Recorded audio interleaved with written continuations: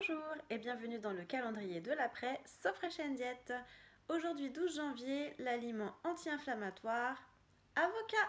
L'avocat est très très riche en oméga 3, ce qui lui donne sa propriété anti-inflammatoire et il est aussi très très riche en glutathion, un antioxydant très puissant. Dit riche en oméga 3, dit aussi riche en matière grasse, donc assaisonnez-le sans graisse. Moi je l'assaisonne avec un petit peu de sauce soja